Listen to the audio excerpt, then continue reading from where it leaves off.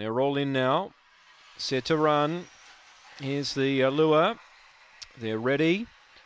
Racing, Banjo Lass missed it, so also did Electra Elsa, and railing up Mia Shan will lead. Now Banjo Lass gets a great run through to chase hard, join and head the leader. Outlaw Dave is wide out. Uh, then Spring Yankee, Natural Fury, Electra Elsa, Howler Cab, and five to Chanel. But the favourite Banjo Lass, she was last to leave, but she got a beautiful run through. She's careering away. She won by four to Spring Yankee. Haler Cab third, fourth, I'm not quite sure. Outlaw Dave stopped quickly. Electra Elsa was pouncing from Natural Fury, and Chanel was back towards the rear. Banjo Lass wins, but uh, gee, uh, you got a bit lucky with her.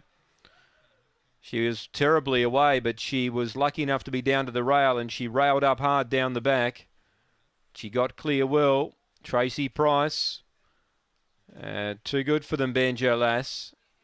Spring Yankee number eight second, and Haley Cab will get third.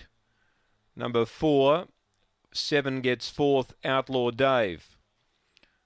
23 36, 2 8 4 and 7. Electra Elsa, the other favourite, poorly away. Banjo Lass, a much better served at the start, was able to utilise box two and rail up and get the money. So uh, after race number five, it's two, eight, four, and seven. Five lengths the winning margin. Ten ninety nine the early split. The run home was in twelve thirty seven. We stand by for the all clear.